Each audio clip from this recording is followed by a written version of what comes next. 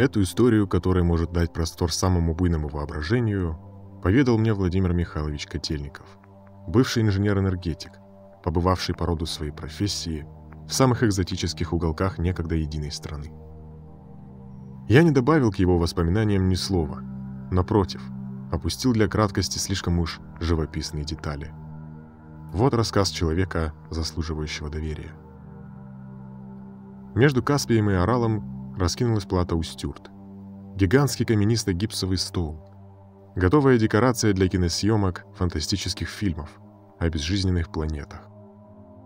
По сравнению с пейзажами этой местности, лежащей по соседству знаменитой пустыни Каракум и Кызылкум, воистину райский сад. Ни одного деревца во все стороны, до самого горизонта. Ни одной птицы в белесом от зноя небе, ни одного оазиса – ни одного ручейка или колодца на всем необъятном пространстве. Это и есть плата Устюрт. Край, абсолютно не приспособленный для проживания человека. Но на рубеже 70-х годов прошлого века здесь кипела работа. Через Устюрт прокладывали две ветки магистрального газопровода Средняя Азия-Центр, а также железную дорогу на Бейнео и Гурьев. Строили сопутствующие объекты, в том числе высоковольтные линии электропередач.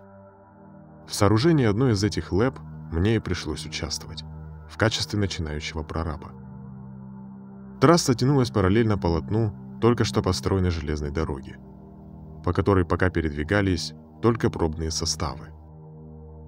У Железки располагался наш небольшой лагерь. До ближайшего очага цивилизации, одноэтажно-глиняного городка Кунград, приткнувшегося к восточной оконечности сурового плата, было около 150 километров. И никакого другого жилья, даже признаков жилья на всем этом пути.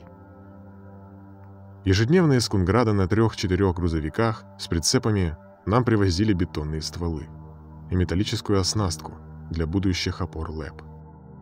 Водители разгружались на трассе и тут же уезжали обратно. Я на всю жизнь запомнил одного из них. Звали его Джура Ашуров. Это был усатый восточный мужчина лет сорока. Добросовестный и надежный работник, обремененный, как и все его сверстники-соплеменники, многочисленным семейством, но не утративший при этом веселого нрава. Доставив однажды на трассу обычный груз, Ашуров передал мне, что начальник участка срочно вызывает меня на базу. Пока я собирался, Ашуров поехал на разгрузку – с трассы он вернулся только через пару часов. Объяснил, сломался кран, и пришлось ждать, пока тот починит. Впрочем, непредвиденная задержка не могла помешать нашим планам. Солнце стояло еще высоко, а ходу до Кунграда было около трех часов. Я сел в кабину, и мы тронулись в путь. Вскоре железная дорога скрылась за грядой невысоких холмов. Впереди лежали такыры, ровные как стол участки поверхности, выжженные солнцем добила и покрытые бесконечной паутиной трещин. Казалось бы, гони по тыкыру будто по асфальту, благо светофоров нет на сотни километров вокруг. Но штука в том, что под плотной верхней коркой такыра залегают глыбы рыхлой породы. Если грузовик пробьет своей тяжестью корку, то нижние слои мгновенно превращаются в невесомую мельчайшую пыль, текучую как вода. Машина резко теряет скорость, а лихорадочные попытки вырваться из нежданного плена заканчиваются лишь тем, что вокруг автомобиля образуется целое озеро пыли, так называемый пухляк. Лишь очень опытный водитель может выбраться из пухляка без посторонней помощи. Видя впереди ловушку в виде пухляка, каждый водитель объезжает ее по дуге. Но пухляк, словно затаившийся хищник, быстро пожирает эту новую колею. Следующий водитель должен объезжать расширившийся пухляк по еще более крутой дуге, которая, в свою очередь, тоже становится добычей пухляка.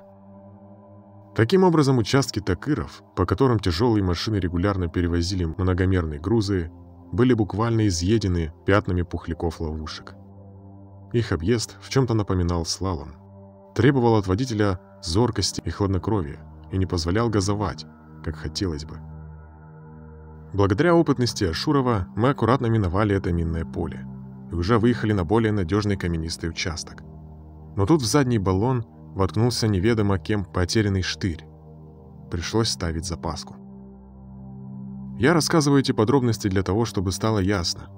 Наступление темноты мы встретили на Устюрте не по доброй воле. Ночь в этих краях наступает быстро, темная, как черный бархат, и такая густая, что ничего не различаешь в двух шагах, хотя над головой светят крупные звезды.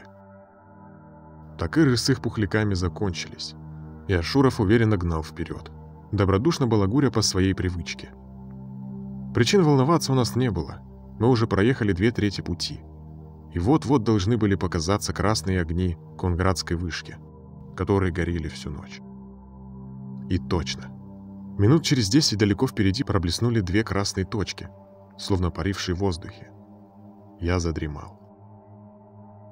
Открыв через какое-то время глаза, снова увидел красные точки, которые по-прежнему горели так далеко впереди, словно бы мы и не приблизились к ним.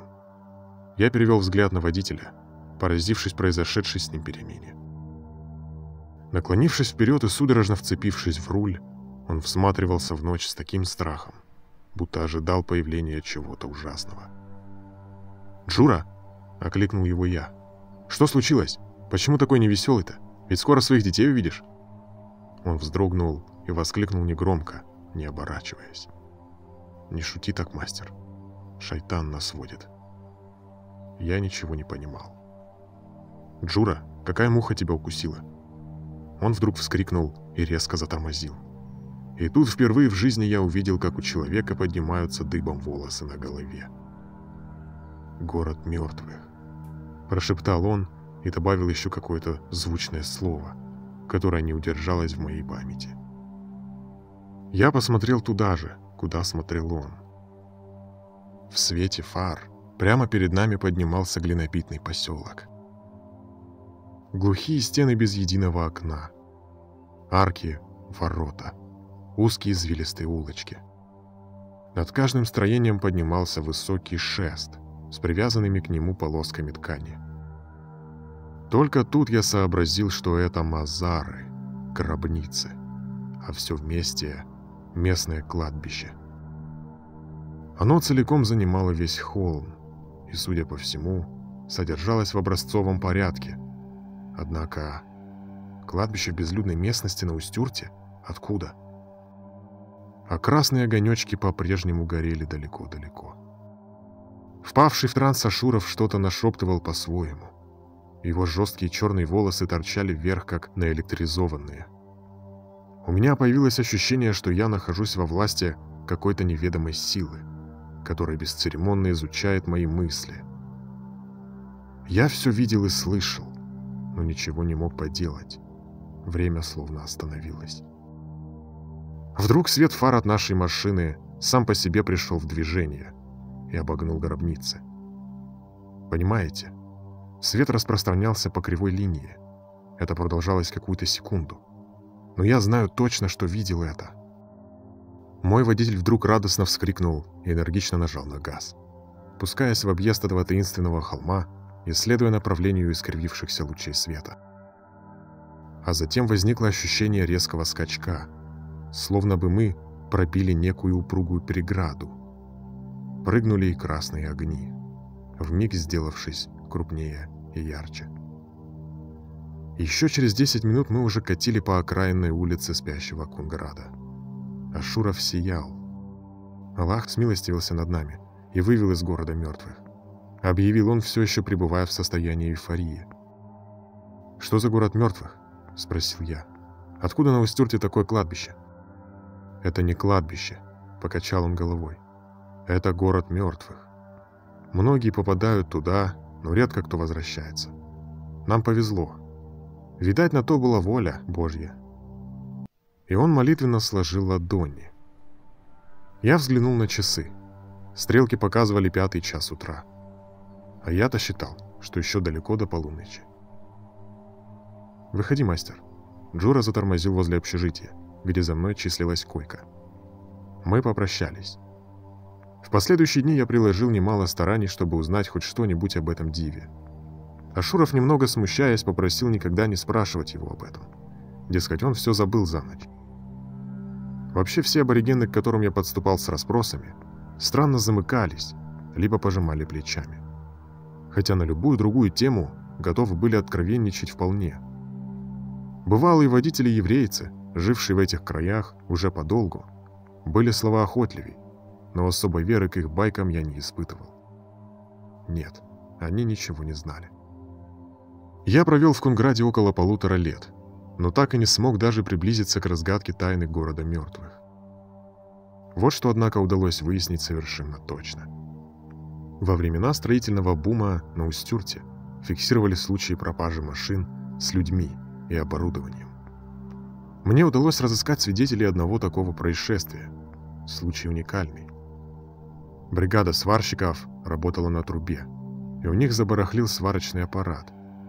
Прораб распорядился привезти другой, с этой же трубы, но с соседнего участка. Отправили машину с двумя рабочими. Все езды было пару километров. Объезжая Пухляк, машина скрылась за невысоким холмом, на глазах у всей бригады. Больше ее никто не видел. Искали две недели, буквально перерыли все вокруг. Летал вертолет, безрезультатно. Ни машины, ни людей, ни сварочного аппарата. А ведь там не тайга, не горы с пещерами, не хитроумный лабиринт. Там ровная каменистая плата, где далеко видать во все стороны.